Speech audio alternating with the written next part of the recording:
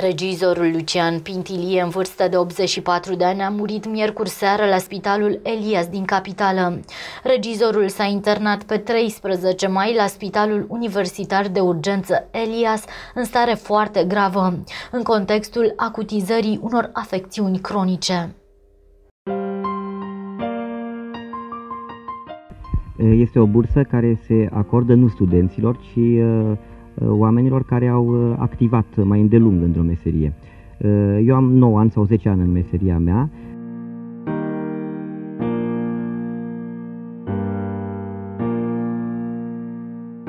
Lucian Pintilie s-a internat duminică 13 mai la Spitalul Universitar de Urgență Elias în stare foarte gravă. A fost admis în secția de terapie intensivă unde a necesitat investigații medicale, monitorizare și tratament de specialitate. Din păcate, miercuri seara, în jurul orei 21, acesta a decedat. Regizorul s-a născut la data de 9 noiembrie 1933 la Tarutina, în Basarabia. După absolvirea Institutului de Artă Teatrală și Cinematografică din București, a montat o serie de spectacole la Teatrul Bulandra din București, precum și două filme de lungmetraj, Duminica la ora 6 și Reconstituirea.